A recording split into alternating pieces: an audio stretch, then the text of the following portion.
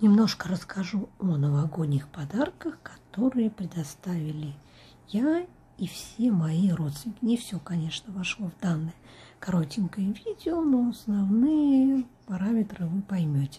Конфетки, другие сладости, одежда, косметические средства, кое-что нематериальное. К сожалению, путешествия нас не могут порадовать, но надежда в следующем году отправиться куда-нибудь все же присутствует. Спасибо вам за внимание.